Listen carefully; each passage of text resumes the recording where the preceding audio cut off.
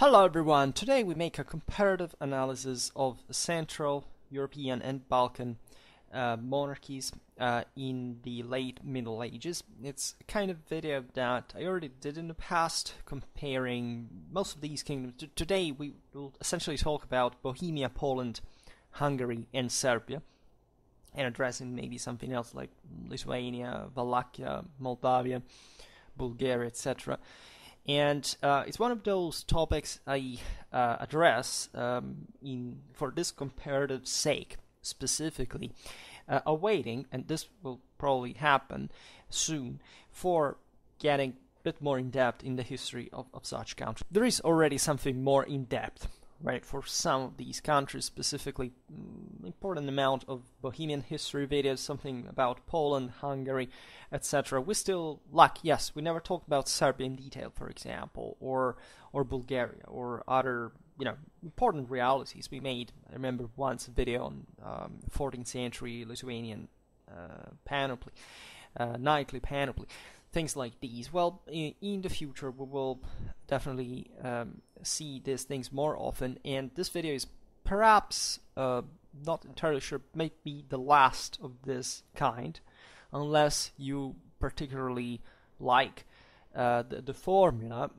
but simply I running out also kind of um, comparative um, possibilities here in terms at least from from this general perspective, right? And I hope that still you you you will pass me the, the approximation of this all because the sense of this type of video is fundamentally to show the differences and analogies of these uh, monarchies with uh, essentially within themselves and with the Western ones specifically.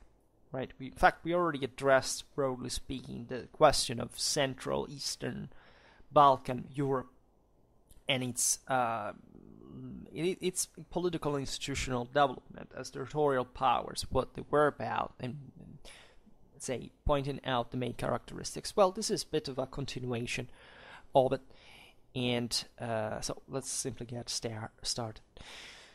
So.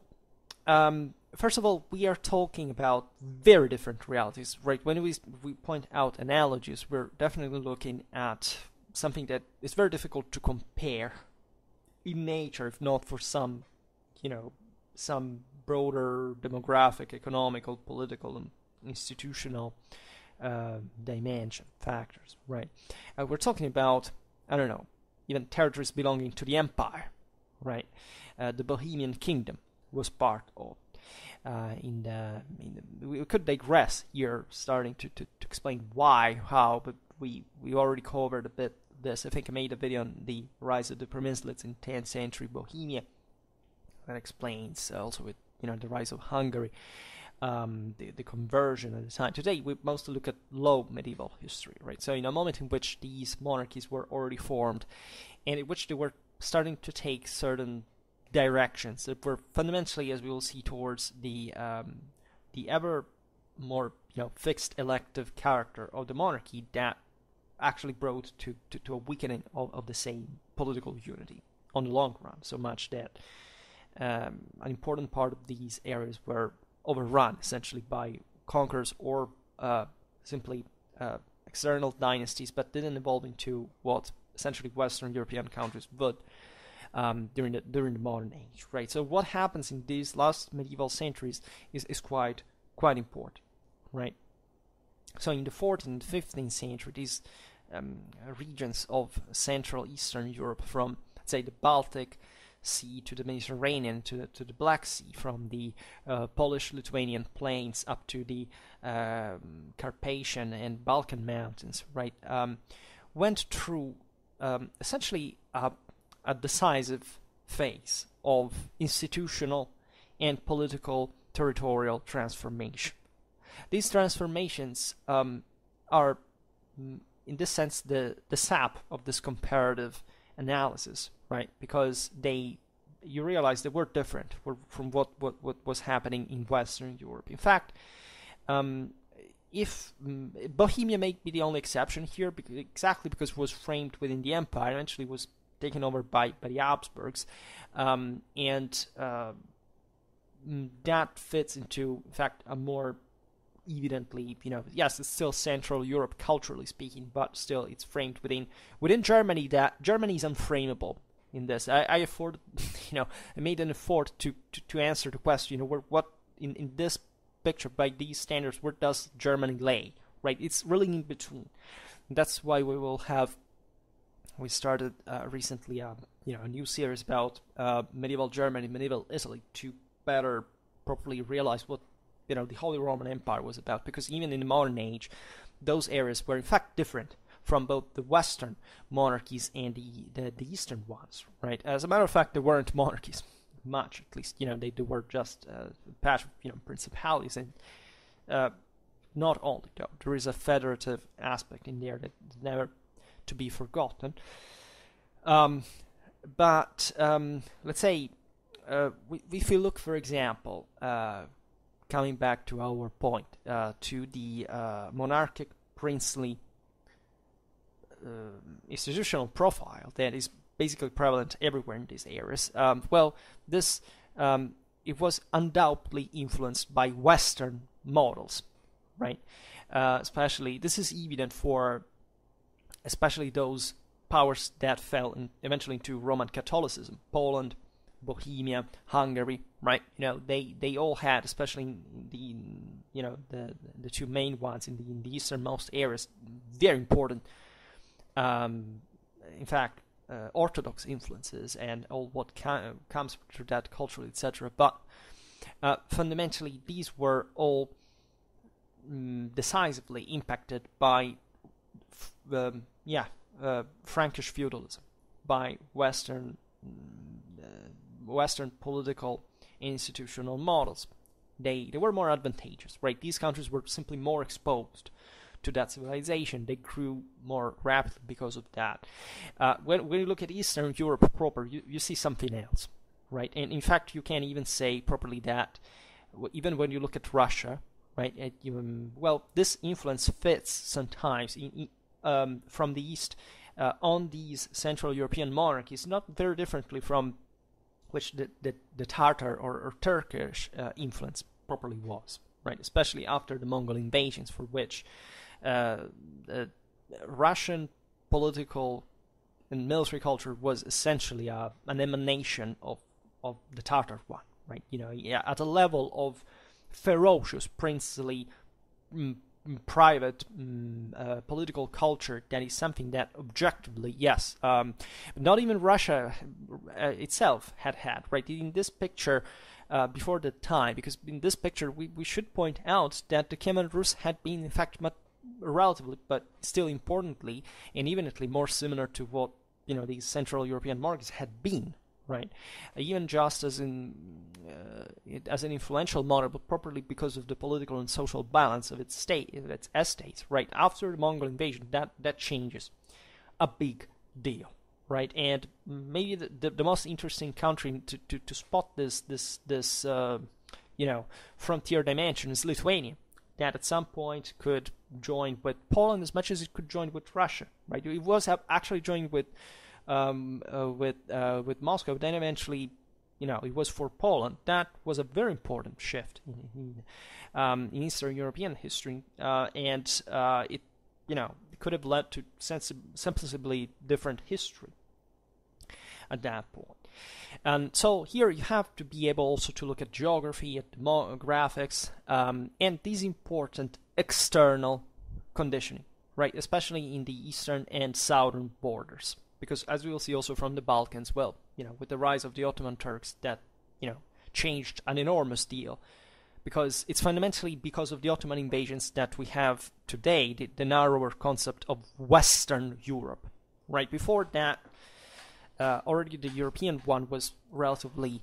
We made a video about this res- uh, recently. Was relatively more, you know, but it, the, the, Ottomans contributed to define it, as most conflicts bring to uh, in identitary terms, and also, you know, we have that huge chunk of, of Europe in the southeast was a Christian one. Um, the European it was subdued by the Ottomans and remained there for, for hundreds of years until the 19th, the 20th century, right? So the principle, um, let's say, um, the characteristics of the main political entities of uh, this European, let's call it region, but it's larger, right? So we're talking about Poland, Bohemia, and Hungary mainly, right? So we will talk also about the Balkans, naturally.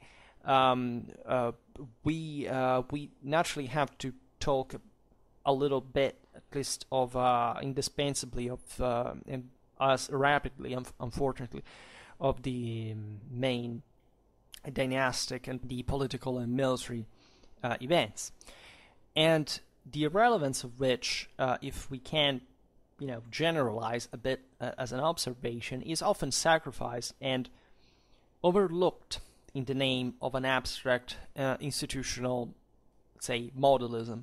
Right? The videos we made up to this point in comparative sense, the Central, Eastern, Balkan, um, uh, European monarchies, uh, and also historiographically, they, and that's why it, by the way, start mostly from saying, oh, look, these guys had something common from a, essentially the, the institutional development of their polities, right?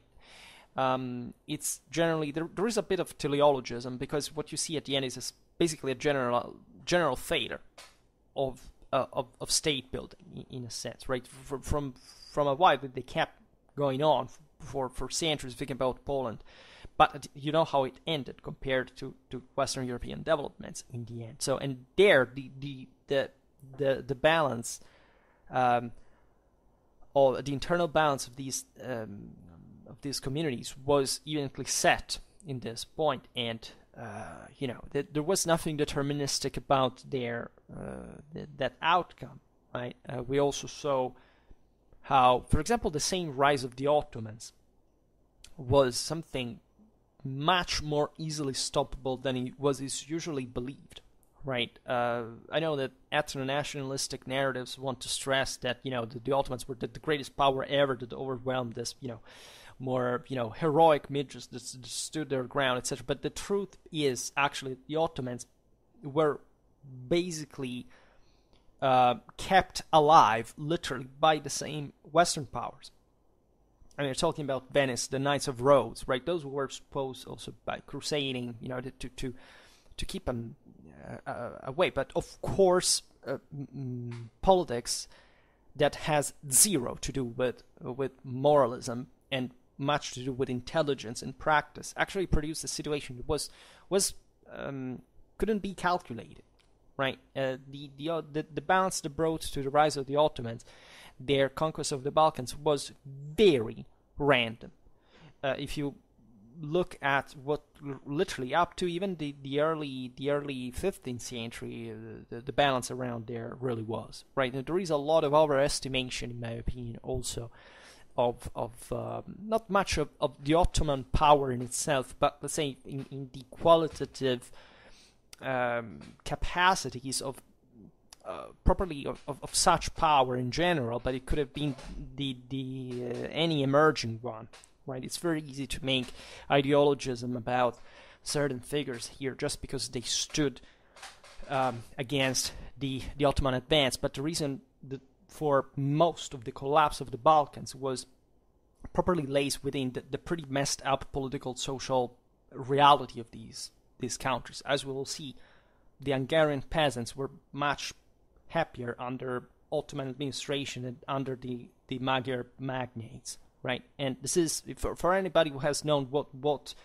what these powers were really about, right? In Poland, didn't happen because the Turks uh, are just arrived at its gates, right? But the, the, the sheer ferocity of the elites that here had basically aborted uh, the possibility of creating a, a state worth of this name uh, was translated in the fact that for them peasants were subhuman beings right? That they treated them as animals and exploited them in ways that are you know some of the most radically violent probably in the entire history of mankind with, with a, an ideological ferocity that is the, the same fact the same obtusity that brought to the failure of states. So yes some monarchs were objectively enlightened in this regard, but they couldn't also do much about you know trying to, to solve the main problem. By the 15th century, these these states basically said nuts to anybody who tried to centralize them further, and there is nothing romantic or or you know r- romantically let's say um, in, in, terms of freedom or other things that this that's properly the denial of civilization. That is to say look on the other side when when you are properly um, under attack uh, because you want to keep just your your individual privilege. And that, that's what, what what happens in most history actually. Uh, this can be observed in so many other uh, during the Italian wars during you know um, unfortunately lack of political cohesion is the the main the main common uh, element in here. And but the reasons of such lack are to be investigated in, in, the, in the background of these communities. Given the picture that we have outlined, any national consideration goes out of the window because if these people had truly cared about their country, would have behaved very differently uh, at some point.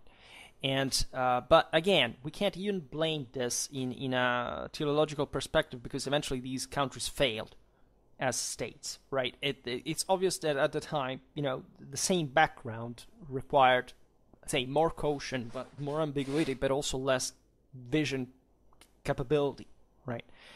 Um, and uh, this brought fundamentally into the, uh, you know, um, into this uh, dynamic that is in the, essentially mo- modern history, brought in the political and military educare of the absolute, say, states, um, Hungary uh, and Bohemia with their Habsburgic imperial domination, right? Poland, um, the same uh, uh, the same Scandinavian states at some point, and we don't have to forget either that in the 14th century, the Balkan area that had seen the consolidation of statual uh, forms of reigns and principates that were territorially extended and not really devoid of resources and ambitions.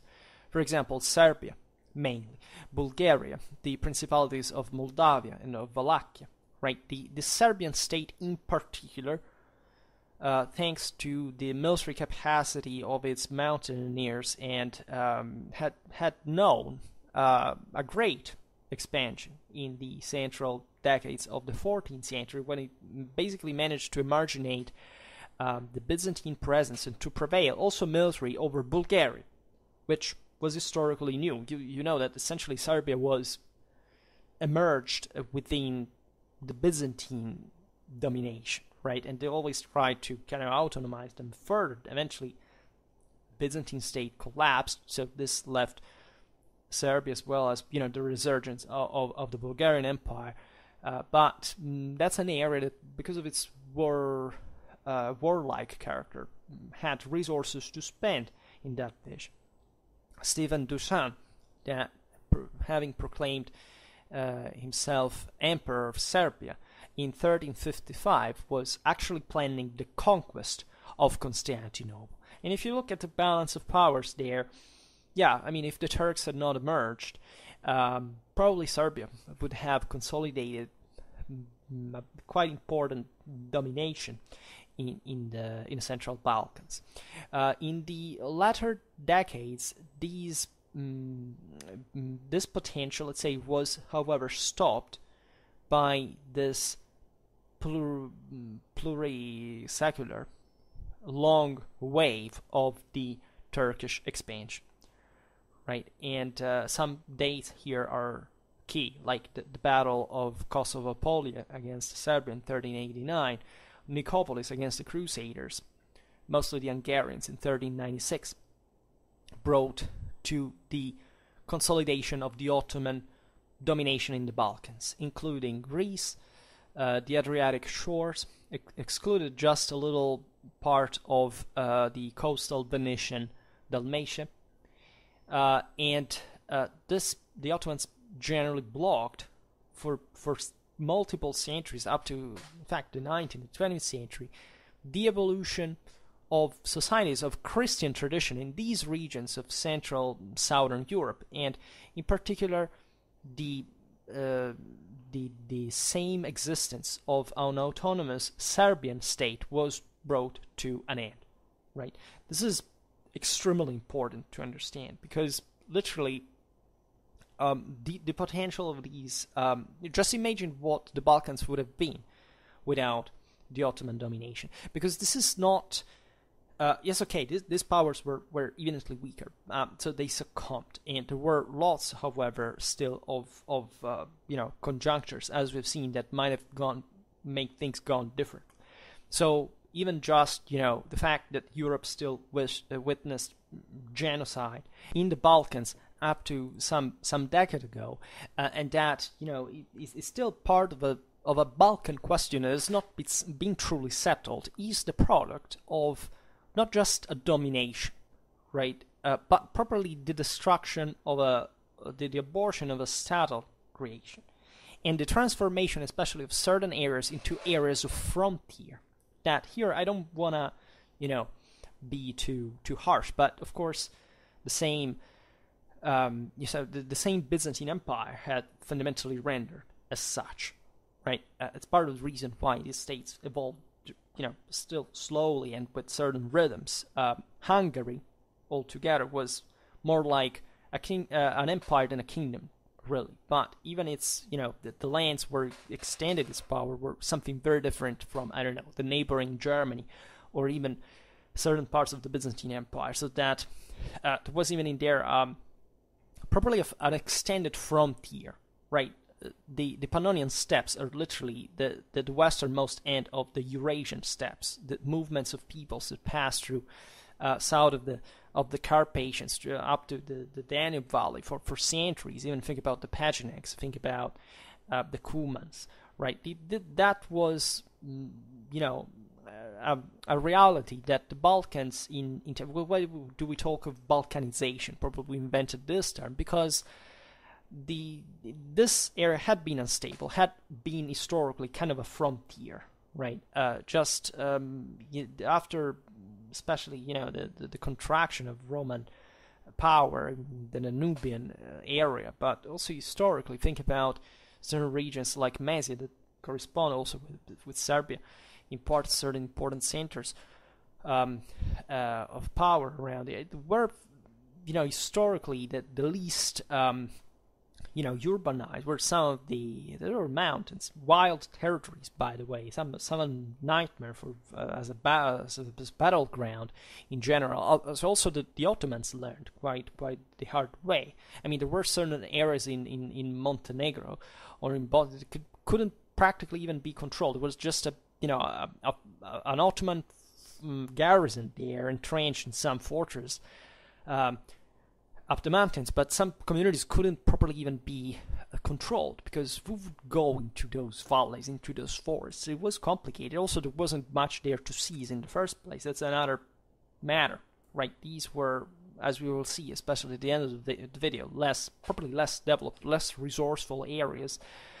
In, in, in some ways, they were resourceful in in you know, in, a broader perspective, when such dominations manage to, to extend themselves territorially, and then yes, because even you know the Danubian uh, area uh, was I don't know basically uh, was uh, one of the the, the the, westernmost branches of the Silk Road.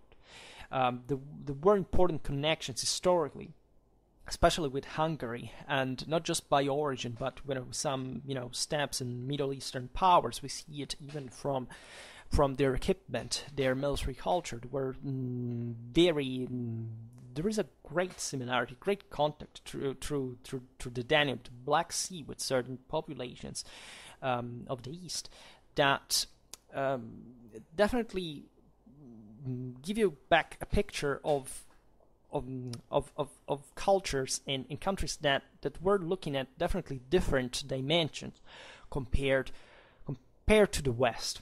This is an important divide. You see, that's also why the Balkans probably had some kind of uh, there, there are important boundaries. There are the Dinaric Alps. There, there, there is properly this constant uh, threat because of the opened um, you know, uh, way to, to, to the steppes there that uh, must be coped with. So the, the, their interest was naturally to cope with that. Serbia received um, important, for example, Russian influence historically uh, throughout the centuries. Um, they found often more interest to, towards the, the, the, eastern area than the west. So it was an area that had a very different dynamics from from the rest of Europe, including properly you know areas such as properly even um, Poland, Bohemia, because Hungary um, was yes importantly Germanized at some levels of political institutional culture, but uh, had a very important Eastern influence, uh, especially Byzantine, but not all, right? And and that's that corresponded to logics that even you know a few hundred kilometers away from the other side of the Adriatic, for example, were completely you know away. Think about Venice. But the Venetians did just cared about the sea, right? What happened in the interland was of relative importance, just you know control of certain cities, uh, close to the coast. That, that was pretty much it, where they contended with the Hungarians. But otherwise, logics were very different. Even when these powers tried to sum up, for example, uh, dynastically various crowns, was a time where you know the king of Hungary was the one of Poland, the one of Naples. There are interesting um, at the same time, I mean, um, you know, constructions that have to do chiefly with Bohemia, Hungary, and Poland that shared often this, but that's mostly the proof of the failure of uh, a territorial, the, the, the, properly the the rooting of a territorial power, right? And that reflects actually the the, elective deal of you know that of this no, ethnic nobility that essentially didn't want to be ruled by a strong ethnic dynasty on a local base, as they had had, uh, like, like the Arpads in Hungary, the Przemyslids in Bohemia, and the uh, Piasts in, in Poland, right?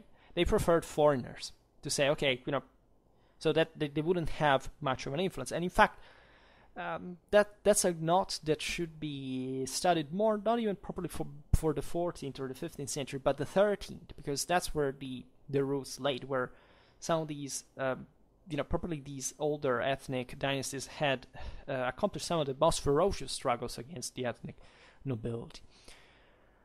Um, we um, we can say a bit the same thing in perspective for the same fall of Constantinople in 1453 and its consequences, right? So all the um, Slavic, Greek, Albanian, Romanian populations of the Balkan area were substantially and you know stably um, subdued with actually rare um, motions of, of, revolts, right? In yeah, famously is Skanderbeg um, in Albania, in the second half of the 15th century, very important.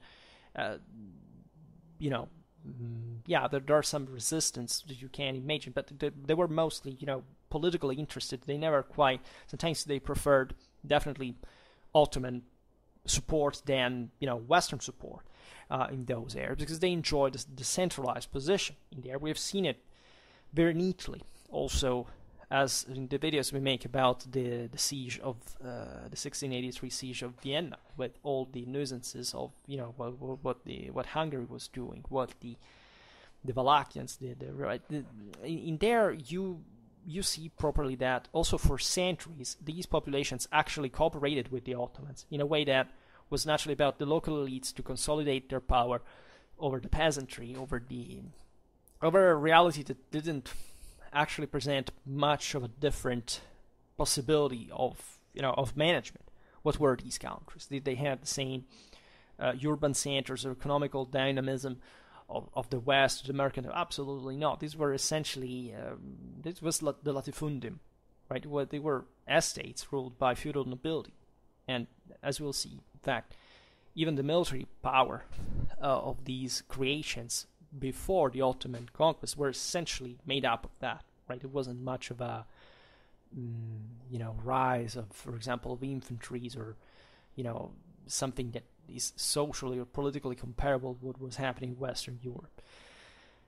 Um, so some decade later, also in the Danubian area, a bit more north, let's say, the political military situation would have been modified in a substantial way. Um, in the case of the Kingdom of Hungary, Greece, the emblematic and catastrophic uh, military defeat suffered against the Turks at Mohacs in 1526. So from that moment on, Hungary is basically attracted definitely in, in, in the orbit of the uh, Habsburgic Empire that will carry out for centuries a sort of um, you know vault you know of, of anti-moral political and religious function properly of um, of Christian European civilization for for a number of, reasons. Were even there also very concretely political. The same Habsburgs had fundamentally backstopped the Hungarians at the time of the Ottoman invasion. Um, their their situation was not definitely not one of the most florid one, economically speaking, either. They risked in the early 16th century have already Vienna conquered. Um, they were joining there in the Catholic, you know, alliance with the dynastic son of the Spanish crown and the, you know, the Austrian possession. Um, they were the same Austria, certain regions of Germany were, were not very different actually from, from these other areas, right? Albeit were definitely more dynamic, richer, more entrepreneurial. The, the German, as we'll see, the German mercantile element had been in the same, uh, in these Slavic countries in general, you know, actually the, the sap of, t- together with Jewish trade, of, in fact, of commercial activities right? And that's where the process of westernization had come because the, the especially the ethnic um, royal dynasties had brought as many merchants, knights, etc., from all the countries in Western Europe into their own kingdoms to to back the push of the uh, the, the centralistic, uh, the centralizing uh, ethnic nobility, right? Uh, but in the first decades of the 14th century, two princely, let's say two Western, properly princely dynasties had substituted in the kingdoms of Bohemia and of Hungary, the uh, respectively the Autochthonous dynasties, respectively the Przemyslids and of the Arpads, um, that were organized fundamentally in the form of a patrimonial monarchy. That is, um, you know, while Western states were Western monarchies were developing, as we've seen also recently, some properly statal apparatuses um, in a central form. These these countries had, you know, had uh, you know a central monarchy in the form essentially of a guy that held more wealth than than the the other oligarchs, than the other aristocrats, right? But not quite developing a true um, statal system. In in 1310, John of Luxembourg, son of the Holy Roman Emperor Henry VII, um, uh, began in Bohemia the multi-secular presence of his own house. It was essentially a French one, uh, and um, this um, presence would reach its apex, uh, with, with the long reign of Charles IV, 1347, 1378. Charles IV was fact, Kingdom of Bohemia and Holy Roman Emperor, Prague, Bohemia at this point were truly the the political, uh, at some levels, a proper cultural center of, of, of medieval Europe. Right, enjoyed a great Prague enjoyed a great uh, development at this point. Where there were some forms, in fact, of attempts of centralizing, but as we will see, uh, even these attempts were still acting in a reality where it was maybe because of this you know strong bolded figures such as Charles that could you know uh, be considered by the Bohemian chroniclers as the father of, of the fatherland proper um, but that uh, would open also to the following decades to the crisis uh, of, uh, of Hussitism in, in, in a way um, that we have discussed also recently. So for the Bohemian kingdom, naturally this this phase was was very positive, right? Also at the level of uh, territorial expansion. For example, Bohemia came to control dynastically Brandenburg at that point. Um, in in Hungary, the situation was different, right? Um, there was the installation of uh, with the papal with papal support, by the way, of the Anjou, right? At, this point, were basically the, the ultra power out there because they were essentially French royalty, and at that point, the French were basically everywhere. Like they were in France, Provence, um, uh, Naples. Uh, they had some Greek possessions. They get the Hungarian crown as well, and, and plus also they will in, in Poland. So um, there was uh, naturally an Hungarian interest to, to, to get, as we've seen this, fundamentally foreign dynasts to, to, to have just them as hosts, not as you know masters properly.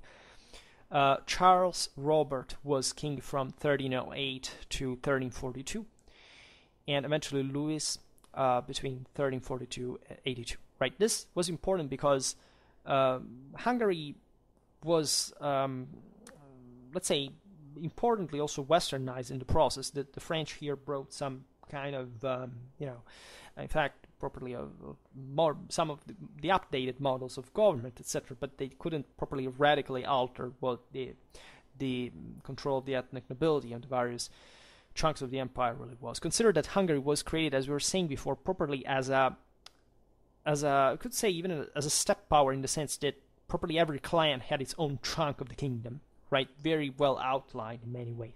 There, there were central offices, but the idea was that there was this huge power could, you know, spread around again around this enormous set of territories. If you read the titles of, of the Hungarian crown, it, it, it doesn't doesn't stop, right? Ever. It's something extremely long.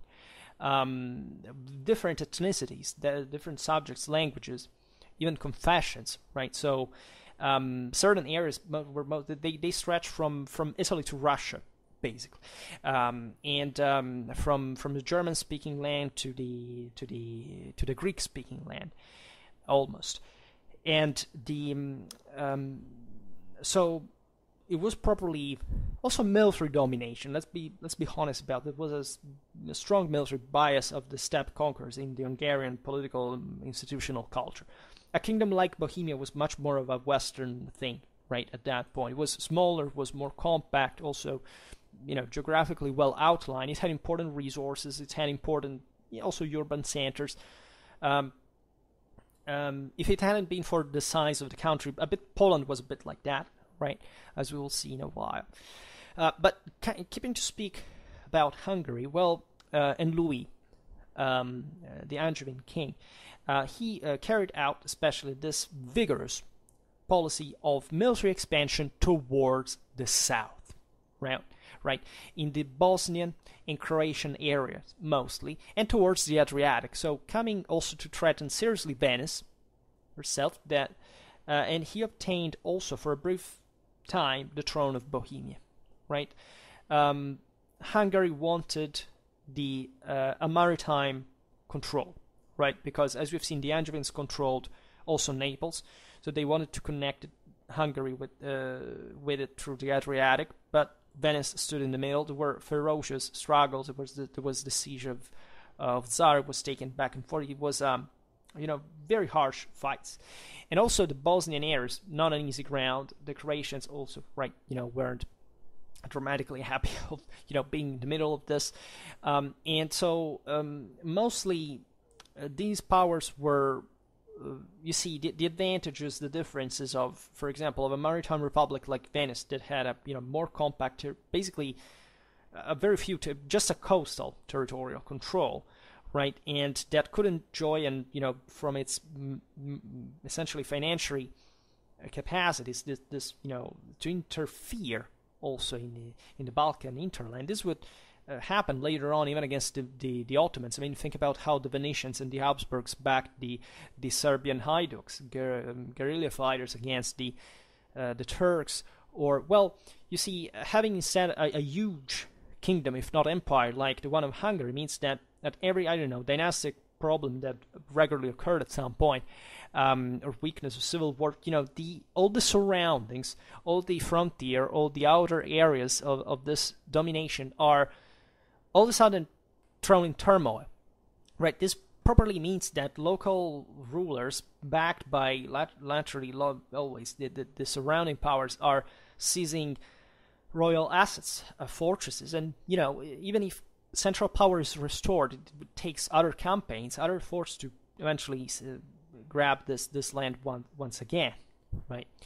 Uh, so these monarchs were, were always that this is typical of the Middle Ages in general. Also in the West was a bit like they're always floating, but with on this these communities that, that, that, that they had to constantly negotiate with, and in this area it's even more marked, right? Even the acquisition of Louis by Louis of, for example, the, the crown of Bohemia. Well, that that is something that, as we were saying before, is very frequent in this um, in the, among these three kingdoms, with Poland included, uh, because it was a way just to surpass that local incapability of, of con- you know, of firm territorial control, direct centralized control by seizing, grabbing as much as you could in terms of revenues from other countries that you didn't even control directly, but you were namely king of, right? And speaking of Poland, that uh, up to that point had been fractioned into different principalities, um, pre- mm, prevailed in the uh, first decades of the 14th century under Bohemian pressure. The uh, local dynasty of, of, the Piasts, with Ladislas, the uh, said the short king since 1320, and his son Casimir the Great, 1333-1370, right? Um, and Wu, the latter, you know, was protagonist of a, you know, gradual territorial unification. Poland had enjoyed essentially this moment of important uh, power on, in, in the 11th century, 10th, 11th century, right, when the Piasts properly established their control. Then eventually it, it split into this series of, of principalities um, that uh, were like, I can say like a bit like in Russia, like, but just to give you the idea, it's all kind of independent powers fundamentally, or that, however, share, namely the same dynastic blood, because they are all Piasts, right? They are more descent from, from the original dynasty. But there is no quite of a central control, right? In, in a way, the Bohemians, even the Hungarians, enjoyed a more central power. But the Piasts are, differently from the Przemyslids and the Arpads that extinguished themselves before, capable in the 14th century to, re, to with these two kings, Ladislas and Casimir, to put things together, right? A little bit again, right? And to maintain this dynastic continuity, but to, re, you know, strengthen the, the unity of, of, of this mm, this complicated also mm, territorially sometimes geographically mm, Poland also considering the, the the surrounding powers that are not easy right as we've seen even the Bohemian here take the, the, the offensive on, on, Poland which is you know um, and that reveals you the degree of fragmentation because as we've seen Bohemia was, wasn't that huge um, by itself but it was possible interfering like that um, so we have to remember naturally uh, as Polish neighbors, technically vassals by name, but in practice also something much more dangerous. The um, the Order Teutonic Knights that it occupied the territories of Prussia and of Livonia on the Baltic, um, for which we, we can't but uh, remember the Grand Duchy of Lithuania. Uh, the Lithuanians also are living in this more wooded areas of, of the northeast. They they are secluded from some certain important circles. You see, uh, the, the, the, the, the, the Poles, the, the Bohemians, the Hungarians enjoy, after all, especially with these new dynasties and also with the older ones, kind of much more international uh, contact right, and uh, relations and uh, westernization. Lithuania hadn't been properly like that. They had even remained pagans up to the 14th century. They were properly not, you know, the Lithuanians are not properly, uh, they're not properly full, fully Slavic from an ethnic point of view, right? They're not properly, um, there's something on its own. They have an, uh, their own language, um, a specific culture, and they're they were warlike, right? Lithuania uh, would rise at this point as an important power. Um, the um, uh, on on the from the modest base of its original territory, right, with essentially an hereditary power, right, that conferred properly the stability that was needed at that point to for, for these otherwise not so you know stable realities to expand. Um, the starting f- uh, from from the rule of the Grand Duke um, Gediminas and his descendants, in particular Algirdas, and that is the father of uh, Jogaila, Jagel, the one who would start eventually the important Lithuanian and eventually Polish uh, dynasty, a, a, a, very extended domination on this mm, the wide plain uh, stretching between the, the Baltic and the Black Sea, right? It was really huge as a territorial domination, connecting also with the uh, with with many Russian principalities, right? The the areas, uh, as you know, are also not the, the best ones, as you know, the Eastern Front can can remind you of them. They're, they're often swamps, forests. They're they're tough grounds, right? But they're not dramatically populated, not extremely productive. But the, the Lithuanians reached this enormous power, right? They have properly a military control in this area, and they start interfering with the frag- fragmented Russia, with this, you know, richer and mm, but not necessarily more politically compact Poland at some point.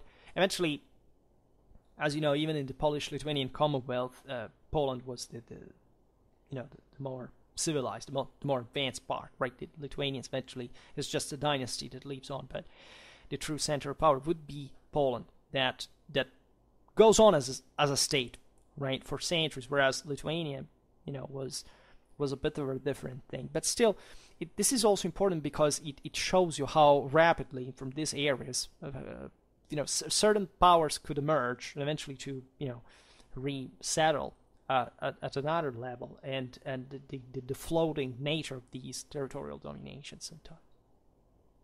So starting from the last decades of uh, the 14th and throughout all the 15th century, um, certain political and social transformations uh, radically diversified the territorial asset and the perspectives of the three westernmost kingdoms. Because in Poland, the extinction of the Piast dynasty um, and uh, the uh, you know following very complex dynastic events. So we're talking about the temporary passage to the crown to the Anjou as well, uh, also the brief dynastic union with the Kingdom of Hungary, brought to the marriage of Edwig of Anjou with Jagella, Grand Duke of uh, Lithuania, eventually King Ladislas III, to the conversion of Christianity of both Jagella and his own people. So we were talking about 1385, 87, and the political coordination between the two states, right? That would essentially be the, the prodrome for the offensive against the order of the Teutonic Knights and its territory. This is very important because, as we were saying before, Lithuania could easily join with Russia. Right at that point, uh, it was actually more likely. So certain marriages, uh, you know, being arranged properly with the, the Russian ruling house, uh, they they end they, they ended finally with siding with, with, with, with, Poland. But at that point, you, you realize, even for the following military events, it would have been a, a very different uh, history in the Baltic. That, not only at that point. Um, in fact, the Teutonic Order, because of this, throughout the 14th century, was incorporated uh, into the great Polish-Lithuanian state right? The point of arrival of this is the Treaty of Torun in 1466 with the creation of Polish Prussia. Um, uh, even if um, the order maintained very con- very conspicuous possessions, um, uh, destined to uh, constitute rather late on, around 1525, the uh, basic nucleus of the first Lutheran state in Europe right? Consider that the Teutonic Order had been established in Poland as a vassal, so technically, the Polish kings uh, received uh, the homage of Teutonic, but eventually they had taken over because the you know the, the, the, Teutonic Knights had occupied the most important, the most productive areas of, of the coastline, right? Uh, with the Ansa, with this properly, the Teutonic Order were uh, you know possessed as an as a clerical state um, one of the single most centralized um, political administrative uh, realities in medieval Europe, right? Whereas the Polish and the Lithuanian interland was was much different fundamentally, less less productive, but the the the, the dynastic union of Poland and Lithuania brought still to the. It was very hard, hardly fought, as, as you know. Um, so in, in Poland and Lithuania, the Jagiellonians remained firmly in power with Casimir, 1447, uh, 1492, and with his um, sons, even uh, though in um, uh, still of a continuous movement and, and contrast within the same dynasty right? You can't fix the problem if there is the pre, you know, before that there wasn't properly much of a uh, of a unity, right? Uh, you can't create it from literally one generation to another. Speaking of Bohemia and Hungary, well, these were entrusted at the end of the 14th century to the two sons of Charles IV. So Wenceslas, king of Bohemia from 1378 to 1419, and Sigismund, king of Hungary from 1387 to 1437, and nominally also of Bohemia since 1419. So the Bohemian kingdom uh, went towards a serious crisis uh, after the development of, uh, of religious uh, development movement of religious reform guided by Jan Hus that spread soon we, we made a video very recently about this the Bohemian diets during you know basically the ousting of royal authority um, for for an important so for that fundamentally that in, expanded soon uh, at a social political level. So in part these were as we've seen the the, the urban um, communities partially also the peasants against the aristocracy. Not quite. Uh, just it was not not only at least uh, the aristocracy was bit in between. Eventually, took over again. It was mostly about foreign rule. Um, so this brought to some important wars that were fought by Bohemia both uh, offensively and defensively. So Hussitism um, soon spread, also as you know, in a, you know between a, radical and moderate uh, wings. Um, so we're talking about the Taborites against the Calixtines, and this had a deep meaning for the development of uh, properly a Czech national consciousness and awareness. But on the um, from a cultural point of view, but from a narrowly, strictly political point of view, it determined this is somewhat overlooked throughout the whole 15th century, where the technical use uh, high movement was in power, a substantial isolation of the kingdom right? Aside from the wars that caused a, a dramatic economical crisis, the, the population, uh, you know, there was an important decrease, properly in the in the subjects of the king, properly an externation from European policy, right? Bohemia during the 15th century was not at all the one that the, the, the of, of the previous one, where it was the center of Europe. Here it was kind of like in a bubble, right? And this is important in, a moment in European history where you know international relations were literally taking off in terms of political effectiveness and need and capacity and organization. So, 15 years of anarchy, also, for example, followed the death of Albert of Habsburg, um, destined to, to, to succeed to Sigismund in 1439, uh, until the affirmation of George Podebrady, who restored um, in a national monarchy in Bohemia. In Hungary, Sigismund of Luxembourg didn't have the charisma and the military um, gift, let's say, of the predecessor Louis of Anjou, and he was permanently concerned with the matters of the Holy Roman Empire.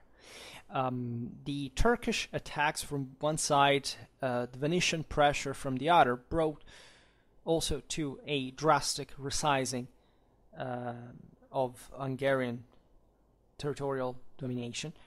Um, starting from the mid 15th century, uh, however, uh, emerged from uh, because of his military capabilities, the Hungarian uh, noble John Hunyadi, uh, son Matthias actually Matthew called Matthias Corvinus king from 1458 1490 brought uh, in uh, Hungary uh, a policy of reforms within the kingdom and of great political and military dynamism towards the external, attacking Bohemia. That was deprived of Moravia, Poland, and Austria. So even basically uh, bringing uh, Vienna uh, in his domination and even appointing it as capital of the same. Between the 14th and the 15th century, for a short time, the princes of the Polish Jagiellonian dynasty uh, were in power both in Bohemia and in Hungary. The Turkish pressure So you remember the Battle of Mohacs and also the Habsburgic one brought in the first decades of the 16th century to the partition of Hungary between the, basically the two powers, the framing of Bohemia within the sphere of influence of the imperial dynasty, marking uh, political uh, scenarios that were destined to last for for a long time, right? Also, the Polish-Lithuanian kingdom was destined to suffer in perspective uh, the um, political and military pressure of, of Russia, but much later on, right? After, especially during, you know, after the, the end of the 17th century, mostly, uh, beginning of the 18th, and therefore, uh, and for bit the same reasons why the, you know, the, the, the Polish state suffered this gradual lagging uh, uh, in terms of centralizing policies surrounding states, right? For the elective nature of the Szlachta, that you know, of the Polish monarchy that was aristocracy didn't want to give up its privileges and so on. So for all these three principalities of Central Eastern Europe, uh, there, there was the the end, properly the termination of this actually significant phase of social and political uh, and institutional development. So, in a comparative perspective, analogies between the uh, monarchic institutions of the kingdoms of Central and Eastern Europe and the Western monarchies. Uh, first of all, uh, we uh, we can see the royal initiatives, right? The unitary tension that animated it, the attempt of centralization that um, is uh, that they're witnessed, for example, by the um, the drafting of uh, written norms of customary law during the 14th century, or more in general, the elaboration of laws um, for the entire kingdom. Uh, for example, I don't know, the Statuta Casimiri Magni, or the uh, statutes of uh, Wisła Piotrków in 1347 in Poland, the Majestas Carolina of Charles IV albeit it was actually repelled, rejected by the, the Bohemian nobility.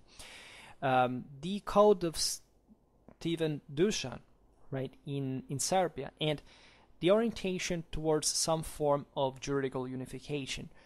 The situation appeared particularly complex in Poland, uh, where during the course of the 13th century, the German law so-called um, the, the, the law of Magdeburg had spread, had basically had entrusted, you know, had conferred a certain uh, liberty both to the, um, uh, the, the, the essentially the peasants immigrated in the countryside, often also from from abroad, um, and to the uh, merchants that were active in the boroughs and the cities. And uh, this is framed in the complexive growing spread of written documentation, naturally, that is backed by the activity of, uh, of chancellors coming from the West, hmm? not surprisingly, because that's exactly where those processes of state making were being carried out mostly. Um, also, the another very important um, uh, royal policy was the foundation in within by the way a few decades of the University of Prague in 1347 the one of Krakow in 1364 eventually refound in 400 1400 excuse me and the same precarious attempts to create university institutions in Pécs in Hungary in 1367 uh, and in Chełmno in the uh, state of the Teutonic Order um, so these are historical universities in Europe that were born exactly out of that specific attempt of centralization. Uh, strongly meaningful was also the symbiosis with the uh, monarchy and the ecclesiastical institutions that were oriented to carry out this, the the classical function of legitimization slash sacralization of royal authority, also through the cult of national saints and in particular with the promotion of the cult of uh, saint kings, such as in Serbia, uh, but especially in Bohemia, with Saint Wenceslas, in Hungary with Saint Stephen, and many other kings of the Arpad dynasty. This doesn't have to be underestimated. We can't frame it just into this low medieval uh, context, but um, there is in these countries a, a very strong. Right, this is even also in Poland. If you go look at their medieval art, for example, uh, it, it, there is um, this very uh, intense ideology of martyrdom. Right, Serbia, nationally speaking, is fundamentally that right? There, there is properly nothing around. It's it's the, the idea of the existence of blood of, of the sufferings, properly in the flesh, right?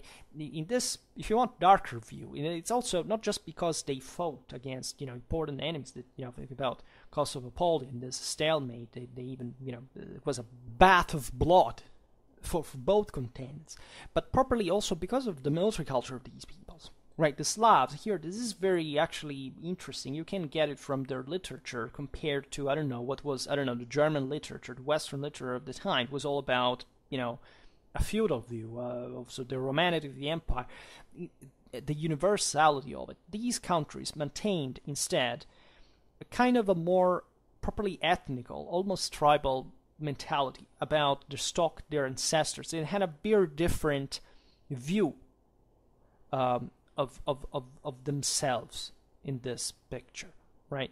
Um, we'll see it better where with with properly what how they identify them like consider that this happened also because they weren't framed within an empire hmm?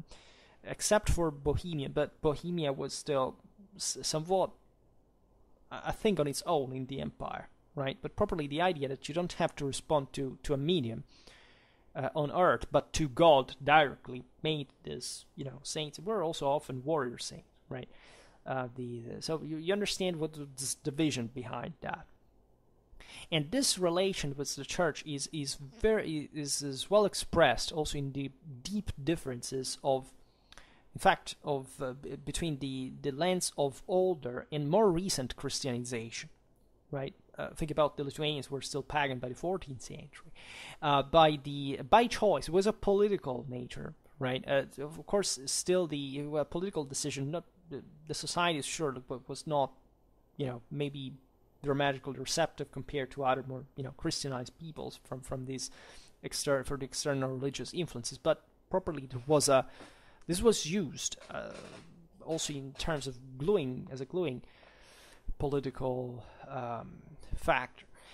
And by, I mean, the Lithuanians were fighting against a, a mil, uh, religious military order, uh, like the Teutonic state. So it was a big no to that conquest to, to say, okay, we're still pagan in, in nature, but there, there's not some, you know, dramatic civilizational principle behind that. Like, you know, in general, paganism was, was no match by by any stretch of the imagination, even just by a ideological level with Christianity. It simply was a non, you know, system. Um, but properly, we're talking about the modifications, also the ecclesiastical uh, districtuation system that were extremely important for the state building of these kingdoms.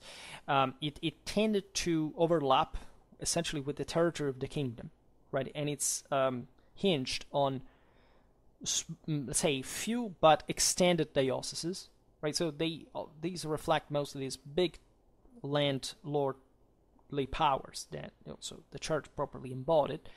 Uh, they uh, they were affirmed in the um, archbishop seats of uh, Bohemia, such as Prague, the archdiocese of uh, in in the time of Charles IV, in Hungary, in Lithuania in the 14th century.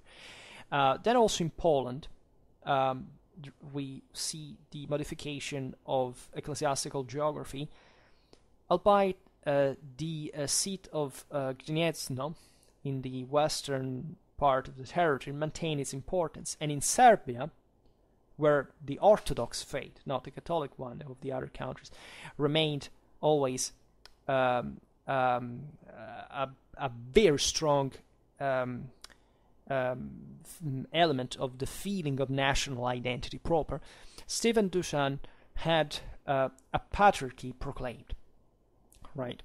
And uh, everywhere the bishops are present in the royal council, and there is the, you know, the the, the normal osmosis is carried out between the clergy and the royal chancellor, especially in these countries that, as we've seen, they had less of a, you know, administrative personnel uh, in, in the local communities. They had to recur often to, to, to external, um, you know, to, to, to external competence, right? So the, the clergy in these countries was the, the more educated rather than you know, in the West things were changing dramatically in the favor of lay uh, of lay clerks, administrators, and so on. And more in general, it's important to remember the strong awareness of themselves, of their, of, of, of, of the, the authority, the, the mission that animated such kings, right? And here it's exemplificative of, of, of what properly that their mentality was. The, the ambassador of Casimir the Great to Charles the, the Fourth, for example, uh, pointed out that while the emperor is subject to the pope, quote, Noster rex tenet coronam et gladium ad. Right, this is beautiful.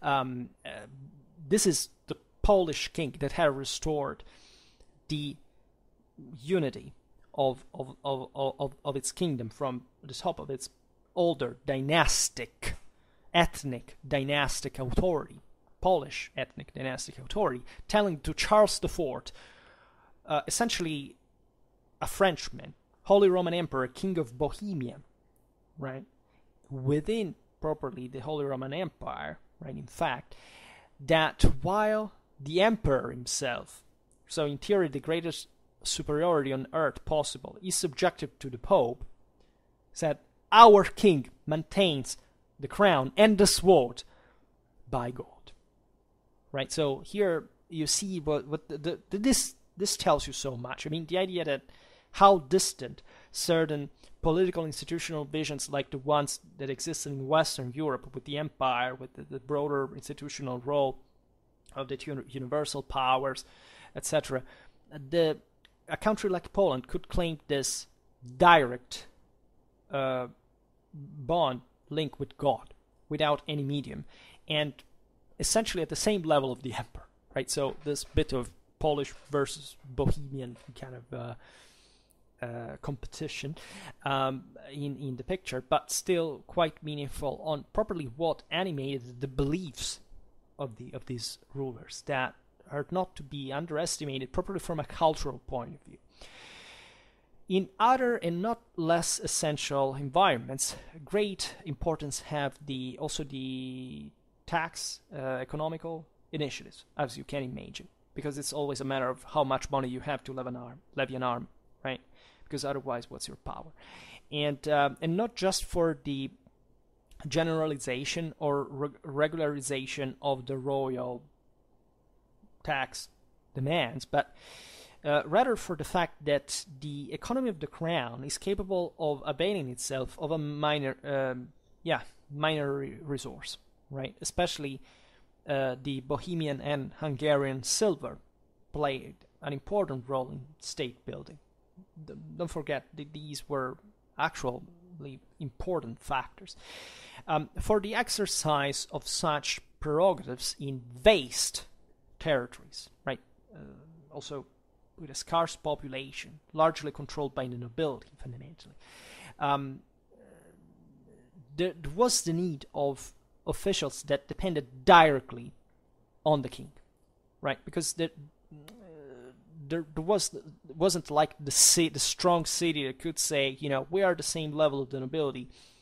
Let's keep them out, right? A bit of this happens in Bohemia because especially the, the last Premyslids had founded an important amount of cities properly in, in an anti-nobiliary sense, but still the nobility took over, and that's literally just speaking for the most urbanized of these countries. Um, and um, so the king had properly to enforce with his own clientels royal power. And as we've seen before, this could happen just for, for mostly through private means and a patrimonial base. So it was a very ferocious struggle that already tells you how much more complicated it was to properly enforce it compared to, to other countries in Europe. Um, so um, their role appears particularly incisive and innovative in 14th century Poland during Louis the Short uh, and Casimir, Casimir the, the Great's um, reigns.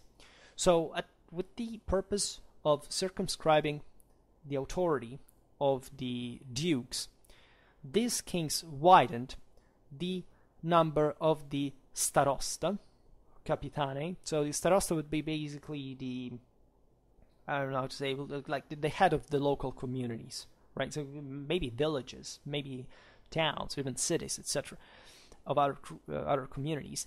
Um, so the non noblemen, so those that had in theory to yeah to, to be opposed, they were often vexed, in fact, vexated by nobiliar power, to hierarchize them, right? For example, uh, in in great in in Greater Poland, uh, the starosta had a very relevant power, uh, a higher power.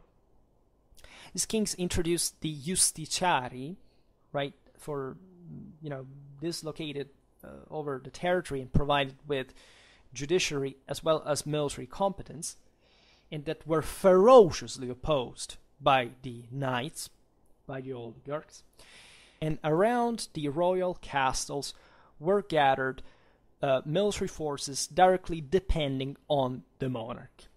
Hmm. That's why also monetization uh, is quite important. This is the, the great century of mercenarism in Europe, right? So also these kings have a bit more modest financial power, but still important one to maintain now permanent force, uh, professional troops. I mean, and um, and it's only from the early 15th century that, however, we see properly mercenary troops entrusted to um, a figure, you know, in the state, properly in royal administration, such as the Hetman, Regni Polonie Campiductor, right? So a commander in chief, properly of the of the Polish kingdom's forces.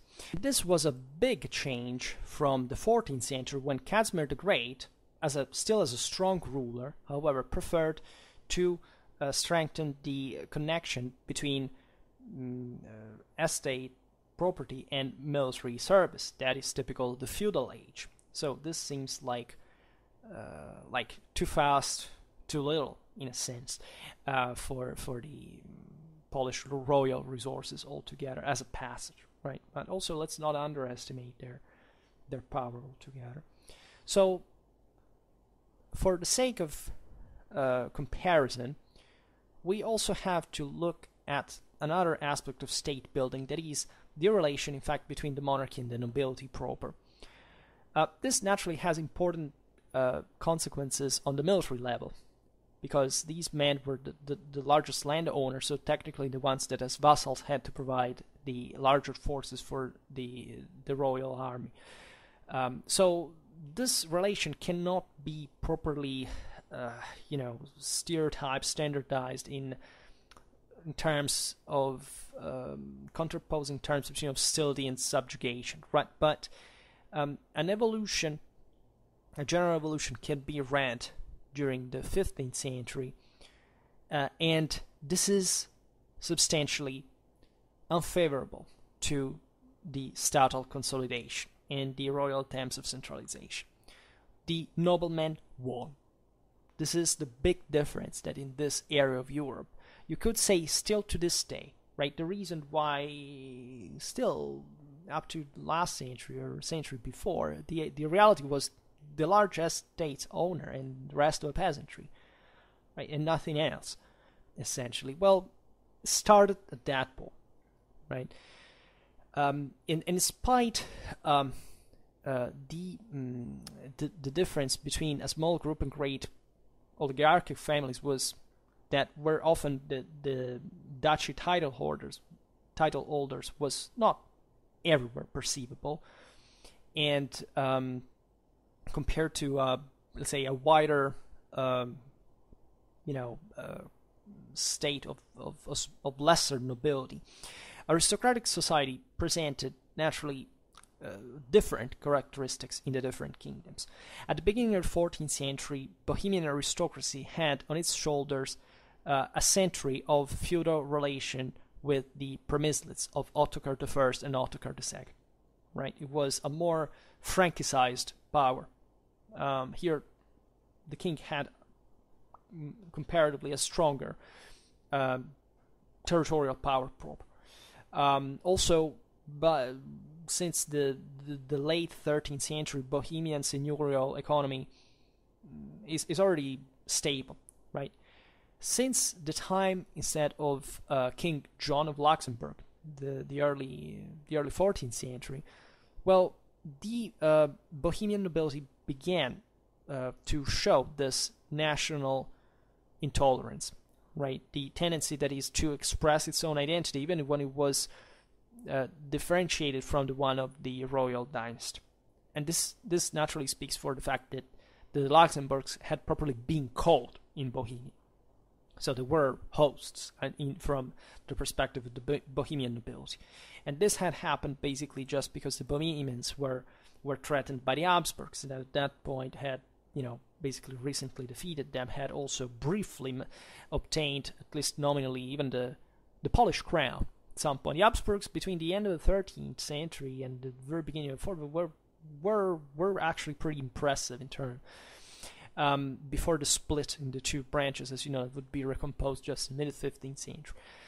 Um, so the Hungarian aristocracy instead was organized, as we've seen, by territorial um, groups. That is, every clan, every great lineage um, had this area of the country provided with large autonomies, properly on a territorial base, since the early clans, right, of, of the you know the Magyars, let's say, the, as a tradition.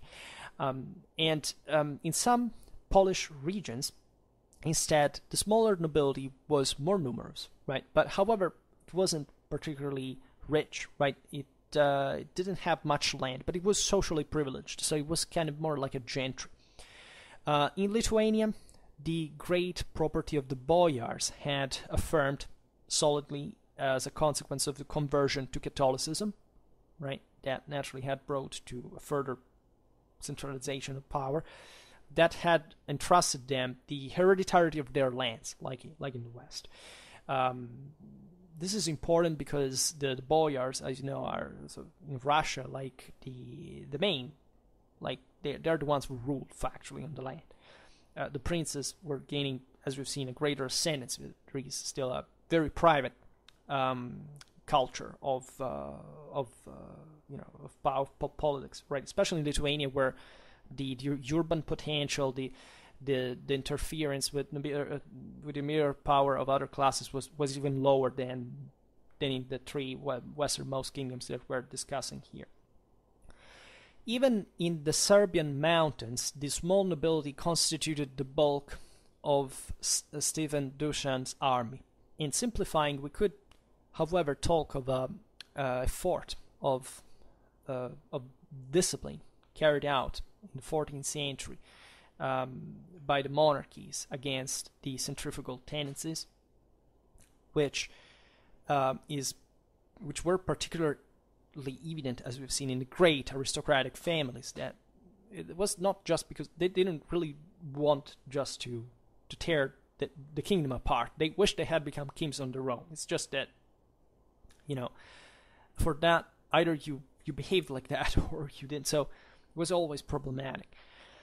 Um, so this happened in the Poland of Casimir the Great, in 14th century Bohemia, right, uh, where these attempts uh, had the support also of the um, the royal attempts of centralization. I mean, the support of the of a rising bourgeoisie altogether. Poland and Bohemia here had were the most kind of Western like, right? As we had, we were to you know comparatively to to look at the social cross section. They had stronger middle classes than say Hungary or even more Lithuania or Serbia, right? So a formal organization by states or Stände was defined in the second half uh, of the 14th century in general. In Poland, the uh, Košice Charter of 1374 sanctioned the principle of the necessity of the consensus for extraordinary uh, tax demands. In Bohemia, also Charles IV had um, uh, so um, rejected uh, from by, from the, by the Bohemian nobility the uh, important documents such as the Maiestas Carolina. The greater capacity of, uh, say, of blackmailing conditioning uh, uh, were proper of the Hungarian nobility because already in 1351 Louis II extended to the small nobility privileges uh, that the uh, greater nobility already enjoyed. Uh, the king uh, elected couldn't govern before the coronation oath, in which he committed himself to preserve all the rights and all the liberties, right? And uh, the evolution of this trend is general, right? So Hungary was definitely a place where the oligarchs had, from an institutional point of view, the greater say in the matters of the kingdom, and this was spreading deep also at the lesser nobility. So, in the very complex events of the following decades and throughout all the 15th century, that um, balance that the great 14th century kings had managed to maintain with the, in their relations with the nobility came to be ever more deteriorated. Uh, the great personal charisma of the kings, the uh, individual gifts that had characterized certain 14th century experiences. So we have seen very powerful um, characters like Casimir the Great of Charles IV uh, are, if you want, the, the confirmation a posteriori uh, of the uh, of the decisiveness of, of, of the same. That is to say that without such strong personalities, the the political institutional balance would have was definitely not in, in favor of the monarchy to self perpetuate itself in a, in a ever more centralizing uh, direction. And in fact, it's not a coincidence that some that only some great figures such as um, uh, Matthias Hunyadi, Matthias Corvinus, uh, in the Hungary of the 15th century managed to intervene uh, to to momentarily right invert this tendency but for still, you know, a, a broader situation could not be brought back, right? It was fundamentally irreversible at that point. Um, so every every election otherwise was a negotiation or properly a back down, right? The prince had continuously to renegotiate with the diets all the various prerogatives and, and rights. So even in the great diversity of the situations that surely existed in this sense, um, we see uh, this trend uh, in the same way, really, in Poland, Bohemia, and Hungary, because everywhere the representative assemblies were dominated by the nobility that spoke the langu- the national language, uh, and and, and, expressing through it a, a properly national conscience, um, that was sometimes contraposed to the to the extraneity of the crown to the from from the tradition of the of the country and of the crown itself, right? Uh, in Bohemia, all the great royal officials are elected in the 15th century by the Diet, right? So basically, everything the king wanted to do had to receive an approval. Uh, also in Poland, where the Diet, the the same, the, the parliament, was dominated by the Szlachta, by the nobility, had to be uh, consulted and um, basically involved in all the great um, politically significant decisions. And it, at the beginning of the 16th century, the prerogatives of such assemblies, um, that is the, the result definitely of a long uh, evolution prepared by the local diets that are witnessed, witnessed since the 14th century, were further consolidated such as in the Constitution Nihil Novi, uh, quite eloquent as a title, in 1505. Um, and uh, as it's been observed, uh, there was the irreversible and gradual passage from the, uh, let's say, the so-called democracy of the nobility to the oligarchy of the magnates, right?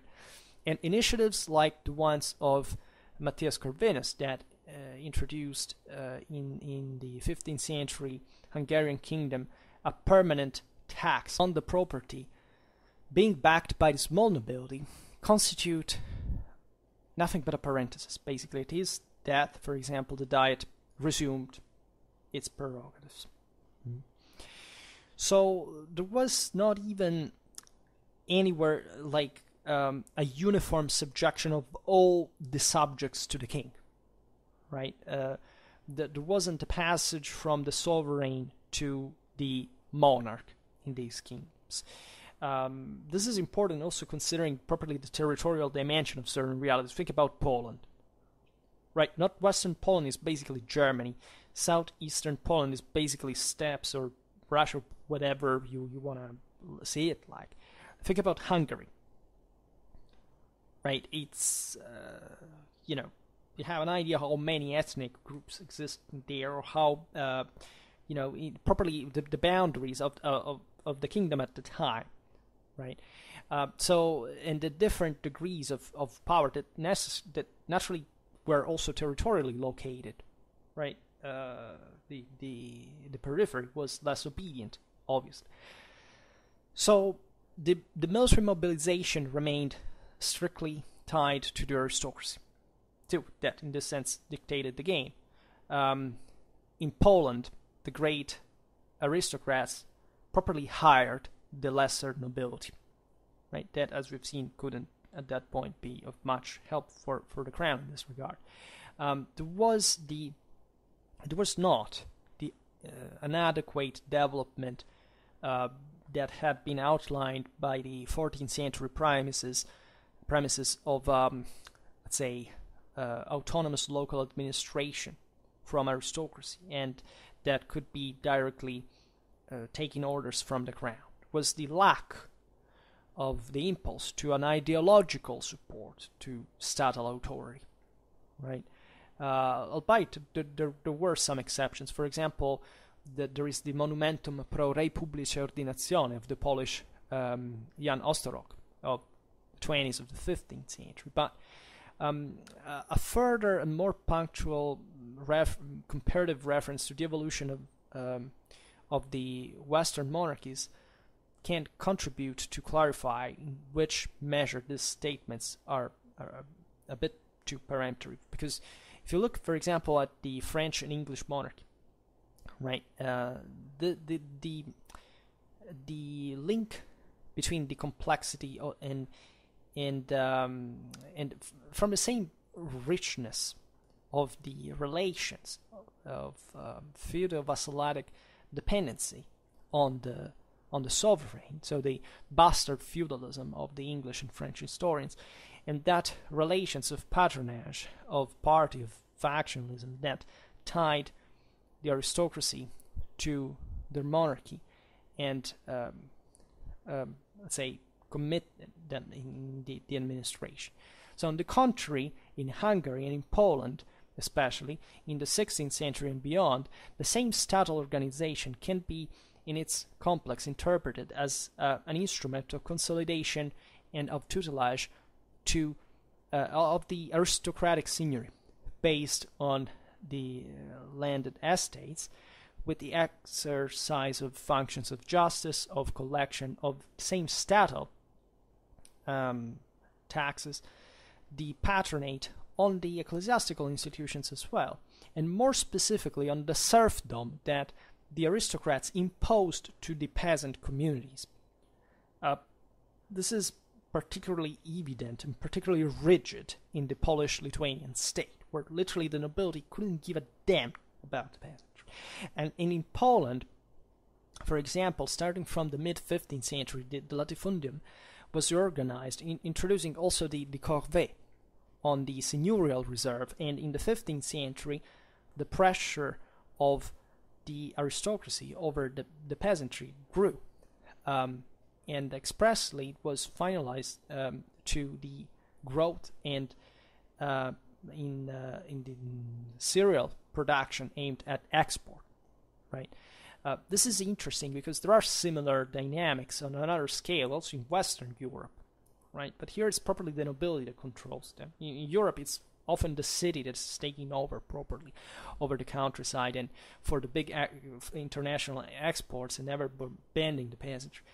There, it's properly uh, the nobility altogether as, as, as a territorial seigneury. That is much less healthy for uh, for royal authority altogether. Um, there were a few revolts in all this, right? Uh, the in, in the West, it was the 14th century, the great moment of revolts, of the Jacquerie, of the repression of the salaried workers in the Flemish and the Italian uh, cities, right?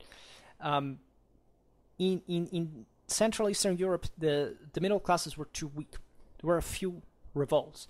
Uh, in Hungary, uh, the the pressure on the peasant classes um, actually favored the Turkish conquest because the peasantry at some point basically preferred the Ottoman rule, especially in the, the centralized position that Hungary got in some way that leaves still some you know room even for the still for the magnates though to, to, to operate. Then then under properly you know the still the magnates but when the kingdom was still ruled fundamentally by them on on a large scale because they were dramatically oppressive. Um, so beyond the relation between monarchy and aristocracy uh, there was an important involution of the institutional social reality due, uh, for example, in Hungary, such as in, in Bohemia and Poland, um, and uh, every context has its characteristics, but chiefly because of other structural elements that were somewhat progressed to, you know, as we've seen since much earlier centuries. Uh, we're talking specifically of urbanization, the, the cities, the urban center, uh, the urban classes in general. Um, because in spite uh, the um, the 14th century uh, demographic growth in, in Central Eastern Europe, there's a very important phenomenon actually. While in the West it was mostly contracting Black Death, in 14th century, generally speaking, Central Eastern Europe kind of grew, right?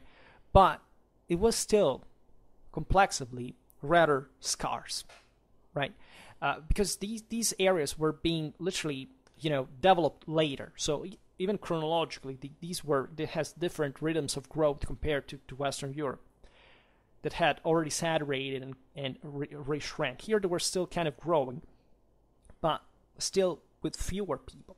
Um, per, per, per square kilometer. I mean, it, it was a very big difference, right? The, the, the, the, the wide majority of European population at the time was in southwestern Europe. Here we are the opposite end. Um, so the um, so in, in the, the, population was inferior, globally taken, say com- complexly taken to uh, any of the great um, national areas in in uh, in continental Europe, like Spain, for example, or France, right? Um, and furthermore, the process of urbanization had remained rather weak, right? It was hinged especially uh, on a great number of um, of centers of small consistency, right? A, a very few Central Eastern European cities surpassed the 8,000, 10,000 inhabitants.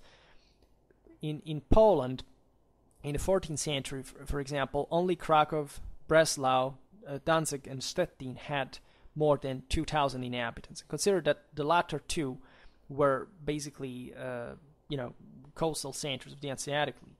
Um, the, you know, the, it was of centers provided with um, a rather, in general, a rather simple social articulation too, right? Also with a limited jurisdictional institutional autonomy. Uh, it had a scarce and intermittent political influence. Um, and it is true that since the 13th century, for example, in Bohemia, as we were saying before, royal power had supported energically, actually, and facilitated the development of cities. And in, in some cases, such as, for example, in Prague and in the minerary center of Kutna Hora, the middle classes had manifested some political ambitions, as we've seen the, recently in the video on the uh, Bohemian Diet during uh, Hussitism, uh, with some success indeed. And um, the uh, most um, important of uh, the most, you know, far-sighting and shrewd of the 14th century kings, such as Charles IV in Bohemia, that still distrusted corporations in general help. They, they still came from feudal dynasties, let's be honest. And Casimir the Great in in in in in, uh, in Poland had favored the uh, urban development, framing also some um, city um, uh, noblemen, yeah, in, in the magnate, in the royal counts, right? Besides funding uh, other cities, such as Lublin in Poland. And again, more in general, um, the the entire area from the Baltic to the Danube was altogether interested in during the course of the, the 14th century and also the 15th by a remarkable, uh, let's say, development of, commer- uh, of international trade, right? Uh, there was hinged not just on mineral production, but also on wood, uh, force, and textile products. This is true, but these traffics remained entrusted in good measure, at least for a certain time, to German and sometimes Jewish men and capitals, right? And the the substantial datum is that uh, the urban, let's say the, the the the incidence of the urban world was complexively scarce, right? And and this could not be modified. This is very important in, in insight, right? These lands had also before the Middle Ages properly had never been urbanized before um, and uh, and in general, broader perspective, you you also understand the reason why. Like just even you know even the climate is very important in this regard. And on you know pre-industrial societies, you know cold is an important uh, for for agricultural production. It's not really uh, the best thing, and uh, these were historically less populated areas and. Um, so mm, less productive ones in in general. So we we could see, uh, for example, that starting from the mid 15th century, certain prerogatives, for example, um, of, of which, for example, the Polish cities had enjoyed, such as, for example, the ratification of treatises um, signed by the king, or the, you know, uh, you know, approval of royal election, were de facto eliminated, were, were, were nullified. Consider this, right? This is in a broader European perspective, right? It, it never think that the Middle Ages were a, a play, a moment where people were were less, were more oppressed than the modern age, because this is not true historically, right? And this is what you can easily see from the end of the Middle Ages. So the progressive ideas of positivism, of progressism, the modern age, the great, there is not much of that, right? Surely the system grew, but the rights of commoners proportionally were much reduced. So if we were to conclude this um, um, comparison, well, on the strictly institutional level, the um, the profile of uh, Central and Eastern European monarchies and let's say the model of Western monarchies definitely do and undebatably follow a uniform tendency that during the 14th century leads uh, for the internal dynamic of the kingdoms of Bohemia and Poland in particular and by the action and government of certain kings to even certain comparable outcomes. But under the surface of the institutions, reality is another thing. Right? If you look even just generally at the functioning, the concrete function of those institutions, that naturally takes into consideration the demographic, social, cultural uh, data and the um, economic productive mechanism, show dramatically well the uncertainty and the contradictions of this tendency.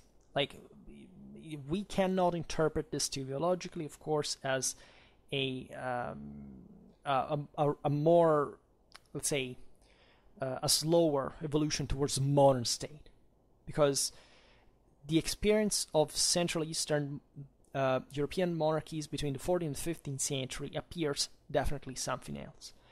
That process stopped, right? The, the, the, the Western monarchies took off towards the dramatic development and centralization of the 16th and the 18th century. These monarchies basically stopped, in a sense, at the Middle Ages, stopped at private culture, at uh, oligarchic control, at the, the, the, the weakness of central uh, authority. And this thing would, on the long run, fundamentally make them being taken over by, by other powers. Like the history of these countries is basically Habsburgic Empire, Tsarist Russia, Ottoman Empire. And this thing stopped only in the 20th century. Right? So draw your conclusion in terms of what, with all the differences, because these were very different areas and would remain very different, but fundamentally what happened to them in terms just of independence right? And uh, with different degrees, indeed. Uh, the best happened under the Habsburgs, the worst under the Ottomans, definitely. Uh, in in in inside, but also these powers had, uh, you know, properly expanded into pre-existing realities that had rendered those dominations possible in the first place, right? So that's my take on this.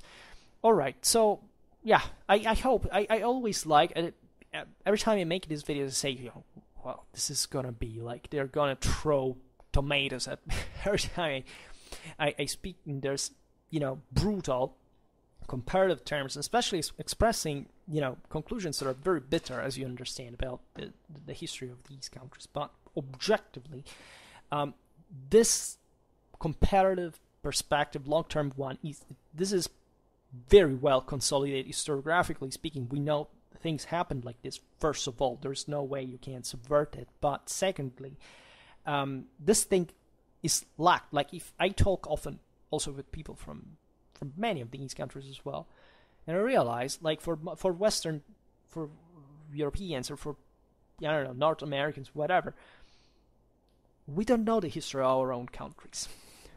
Like it's useless to resort to identitarism, to ethno-nationalism, to communitarism, to all this bullshit. Even worse, even you know, multiculturalism does the same. All equal, all flat.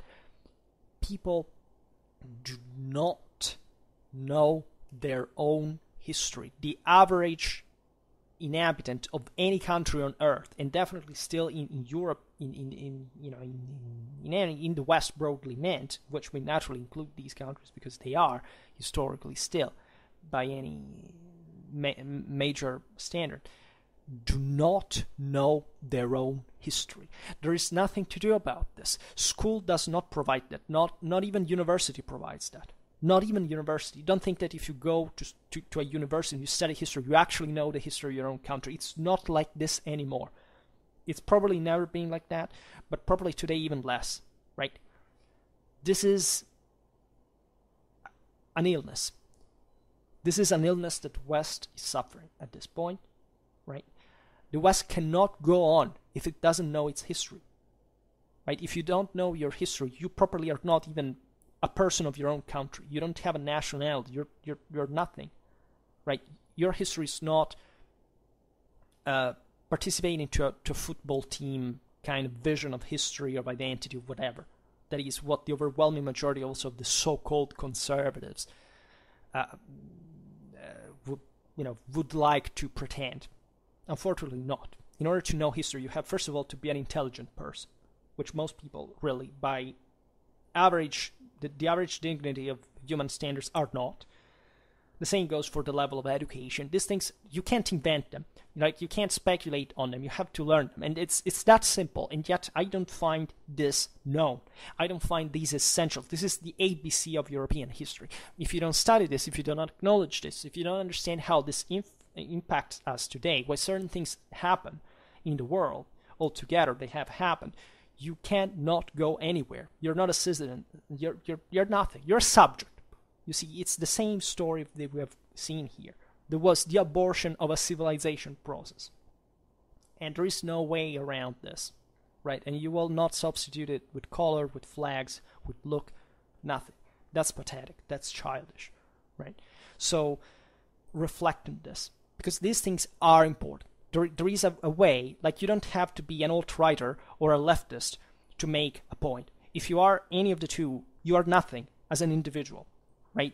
There is a way to reconcile historical identity with national pride without being a moron, right? And most people don't even know where to start with that because the, the extremes are the wildest, beast like, disgusting way to do it because every idiot is capable of doing. There is nothing proud to, about. There's no pride of that by any stretch of the imagination.